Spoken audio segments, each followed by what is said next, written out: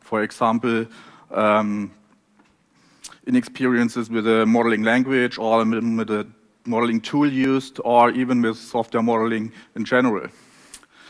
Um, yeah, fortunately, there are several quality assurance techniques around, like uh, model metrics for calculating some discrete values on the model and interpret them um, concerning some quality aspects. Model smells, uh, which hint for for suspicious parts of the model with bad model quality and this should be improved, and model refactorings for restructuring the model and for um, for um, improving the, the quality of the model. Yes, and in my work, I put this together into a structured quality assurance process for software models, which relies on model metrics, smells, and refactorings.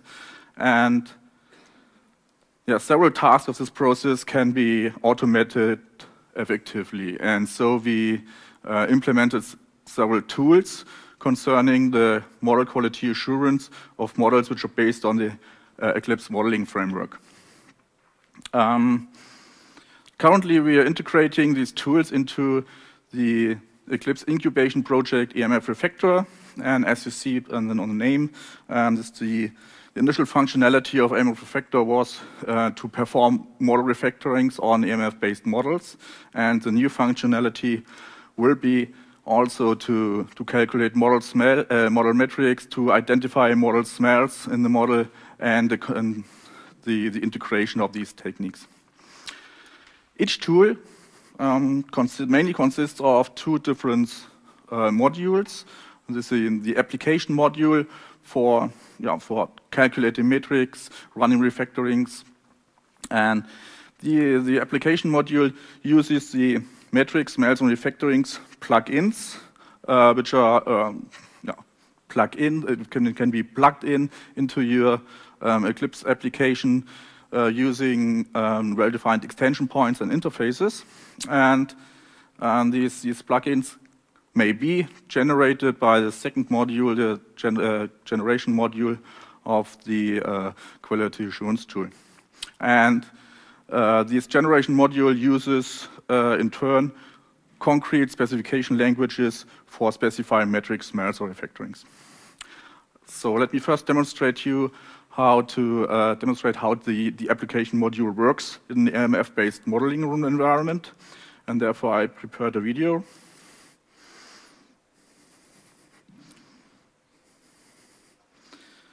Um, you see here um, UML class diagram, uh, which is modeled within the uh, rational software architect from IBM.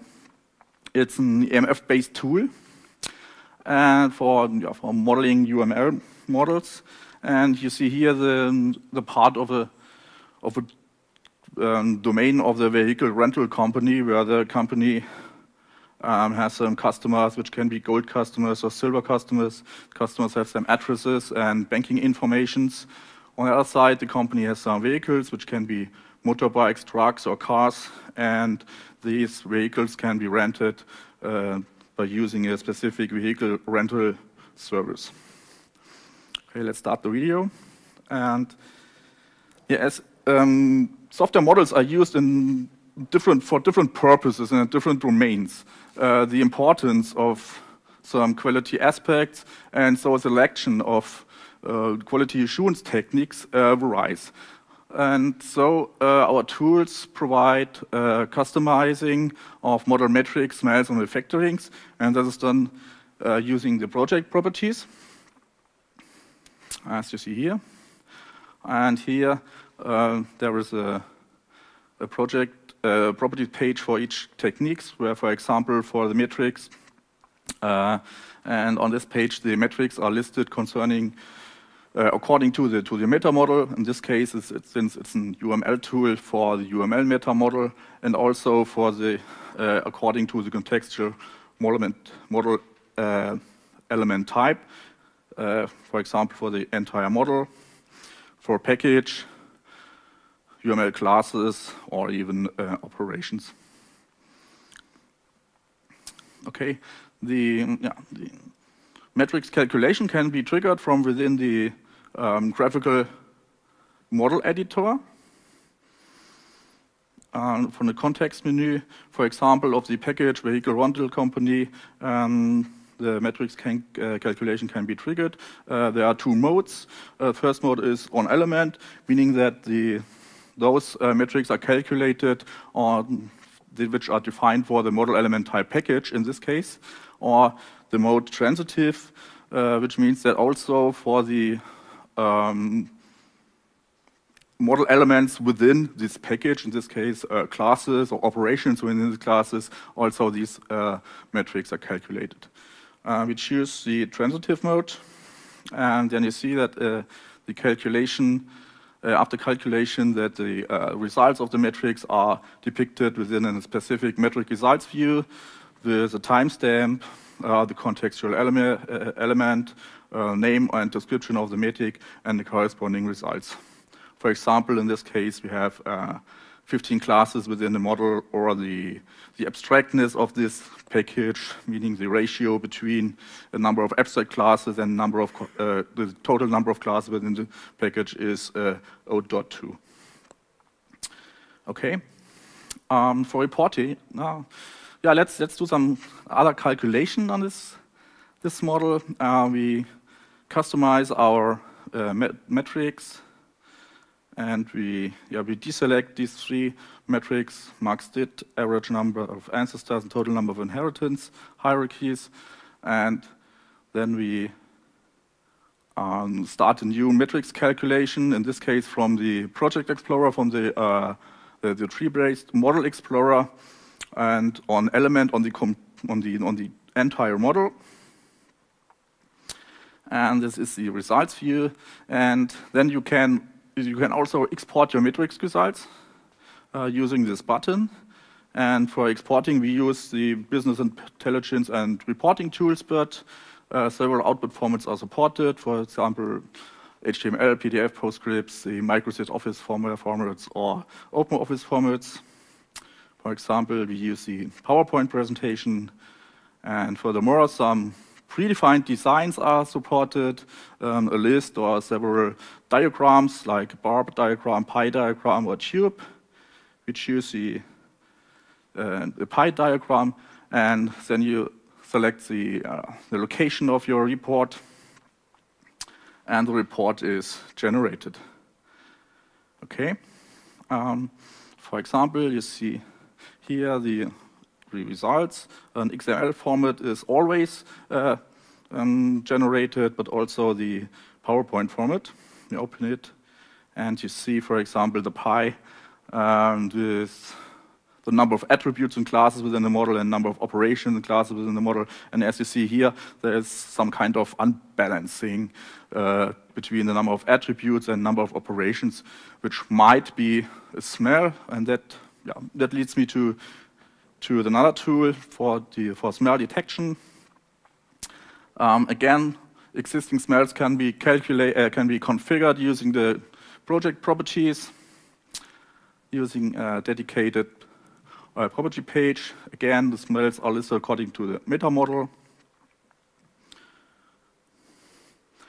And uh, you can customize for uh, metric-based smells the threshold for your um, yeah, the project-specific threshold for for those smells, uh, which which are based on a on a metric. For example, um, the smell long parameter list is in this case, uh, yeah, the, the, smell long parameter list occurs if more than three parameters uh, are in in an operation. And you can do this uh, project specifically. Okay, the smell detection is again is triggered from within the context menu of the model element or of the from the from the uh, entire model in the project explorer. And the results are depicted within a uh, dedicated smell results view. In this case, we have uh, 14 occurrences, uh, smell occurrences, and if you click on such a concurrent uh, occurrence, um, the involved model, model, elements are highlighted either in the diagram editor or in the project, a tree-based project explorer or model explorer. For example, Here we have the smell um, concrete superclass, where the abstract class premium customer has a superclass which is concrete. Or the aforementioned smell uh, long parameter list in uh, operation rent truck with one, two, three, four input parameters. Or the smell equal attributes in sibling classes in class uh, motorbike uh, concerning the attribute power, which means that the other sibling classes, truck and car, also have um, this um, attribute power, which of type unlimited, natural.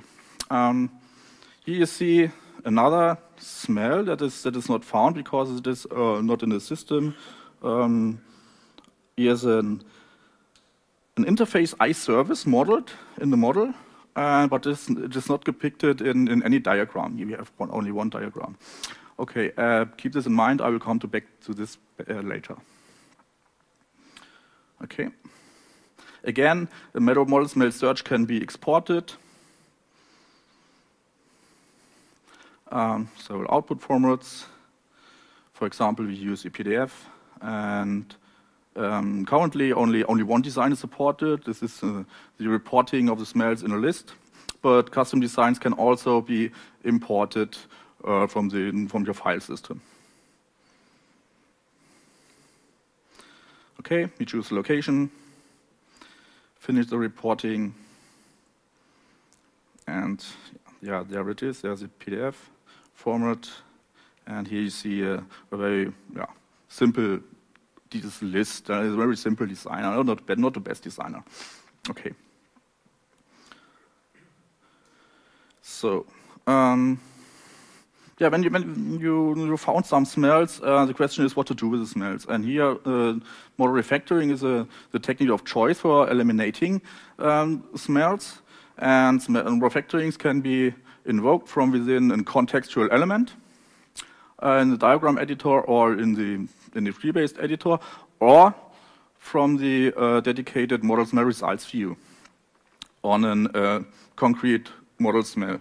For example, uh, on this smell equal attributes and sibling classes on occurrence, motorbike, and power, we have implemented some kind of quick fix mechanism to eliminate the smell and to yeah, to get some refactorings which can be implemented. And here you see that only these refactorings are listed which are applicable in the given context, meaning in, in this case on class motorbike or class power. So if we choose the refactoring pull-up attribute, uh, we select the contextual model, this is attribute power. And then each refactoring comes along with a specific parameter input dialog the refactoring pull-up attribute has uh, one parameter. It's the vehicle, uh, the the name, uh, the, the class, the superclass the attribute shall be pulled up to. And in this case, uh, the class vehicle. And then um, this dialog uh, provides two previews. One is a model smell statistics preview, which this does some uh, model smell simple statistics. The smells before um, the refactoring, smells after refactoring, and the delta. And the second uh, preview is uh, a preview of the model changes, and here we use EMF compare. This is the EMF compare dialog.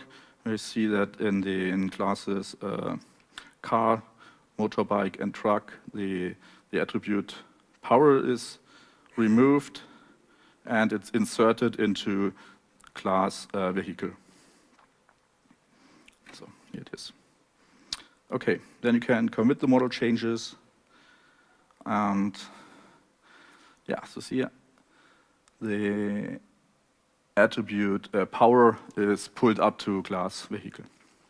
Okay, that was the application uh, part.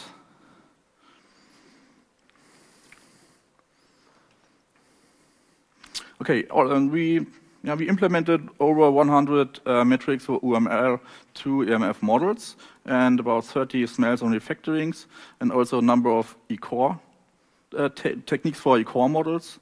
And yes, and this is, if this is not enough, or you want to um, create some quality assurance techniques for your own domain-specific uh, specific modeling language, uh, you can do this using the second tool, the generation module.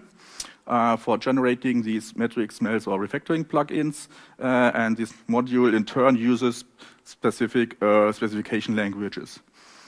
And um, I start in explaining you which uh, specific languages are supported uh, up till now. And I start with refactorings. And before I, I, I must have to say that uh, for refactoring, we use the Eclipse language toolkit for the workflow of refactoring, meaning that uh, after refactoring invocation from given context and first precondition check is performed if the refactoring, uh, whether the refactoring can take place. Um, then, if this precondition fails, an adequate error message is shown. If it passes and refactoring has uh, additional parameters, a parameter input dialog is shown where the user has to input the parameters.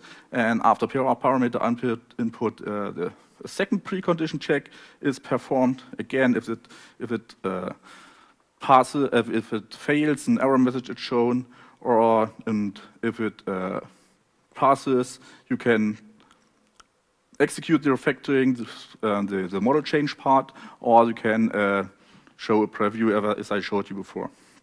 And this is meaning that a, a refactoring mainly refactoring specification mainly consists of three units or parts. Uh, one for an initial precondition check, then the final precondition check, and the model change. And yes, uh, these units or specification units can be implemented in Java code. There are three methods, or in as OCL, especially for uh, we uh, OCL, especially for precondition checking, or you can use the, uh, especially for the model change part, the EMF transformation language Henshin. And, but also you can also use Henshin for um, precondition checking. I showed you before this. For example, this is the refactoring remove unused interface of the smell unused interface I showed you before. And here we have altogether three rules where the yeah, violation of a, of a precondition um, is specified using a separate rule.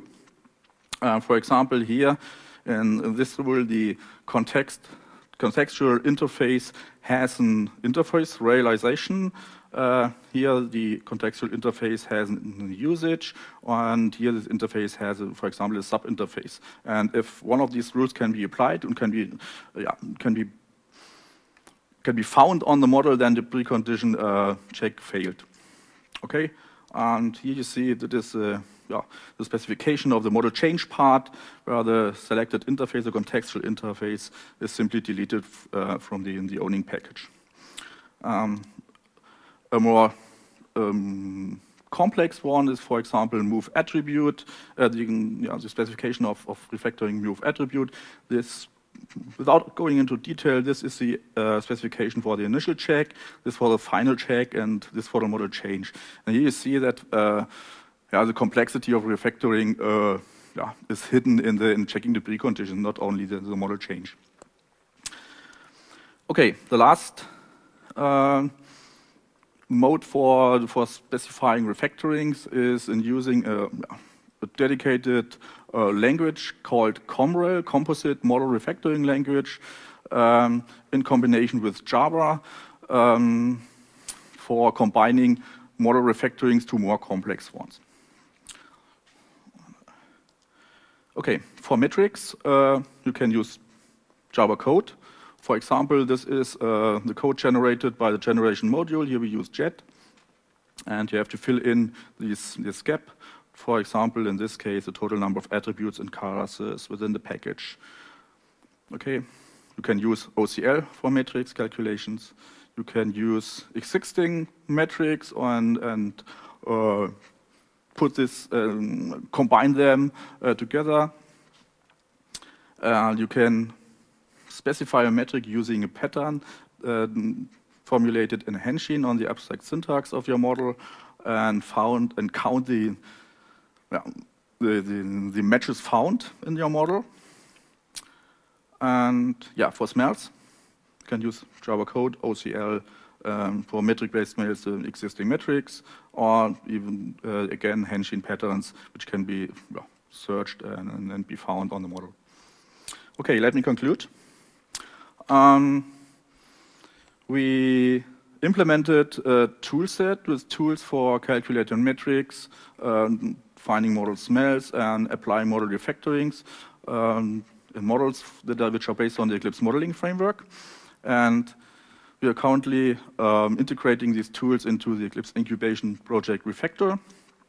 And the tools are highly integrated, meaning that on the first hand, uh, it, uh, the tools uses each other. We have smells which are based on metrics. Refactorings can be invoked from within the metric, the, the smell, uh, um, the smell results view, and we can do a smell analysis during refactoring as a kind of preview.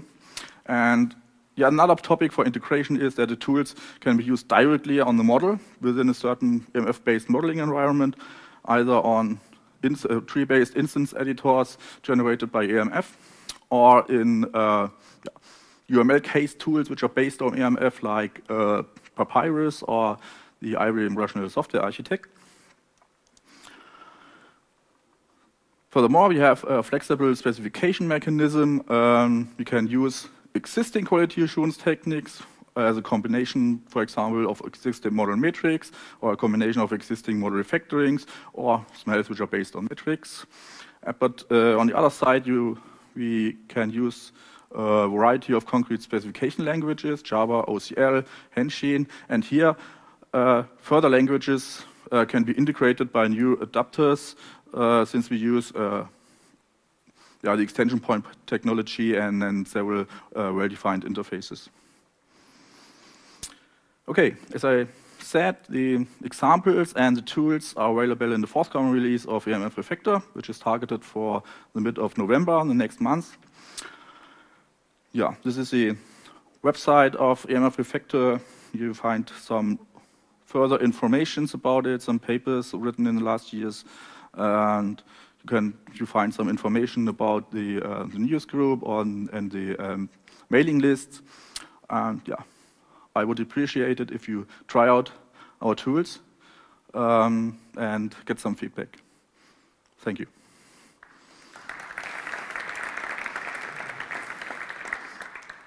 Any questions? Yeah.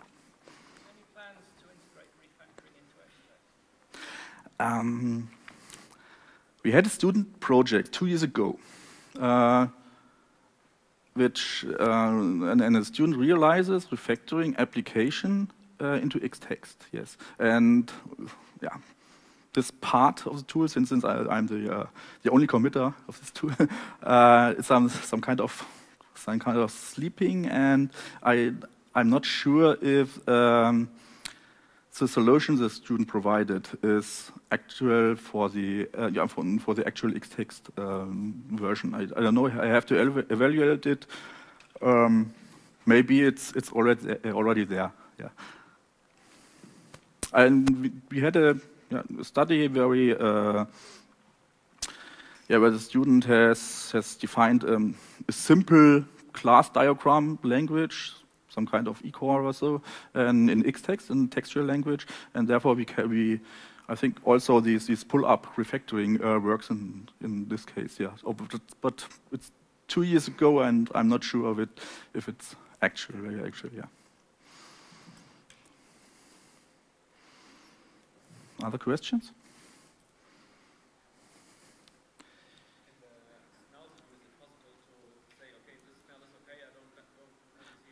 Not yet, but it's, it's, an, it's an, um, a nice feature request for it uh, to yeah, to, um, yeah, to, to, fill in some some regions where we know um, this smell in, in this region uh, should not be shown anymore in, in, in another analysis. Yes, it, it is planned, but is not implemented yet.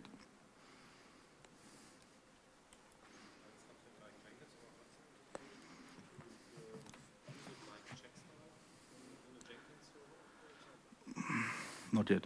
No. But as I said before, I'm the the only one committer of, of EMF Refactor. I would appreciate if, if somebody of you uh, um, is interested in in being a committer of EMF Refactor, please come to me and uh, or write me an email or so.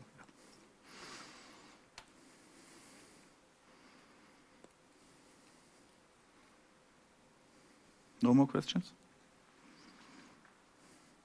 Okay. Thank you again.